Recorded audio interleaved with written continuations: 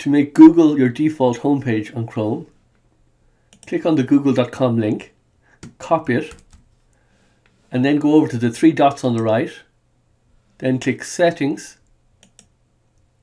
and then click Appearance, and then scroll down to on Startup. There you have three options, and we'll use a specific page. Add new page, and we'll paste in google.com, add. And that's how you do it.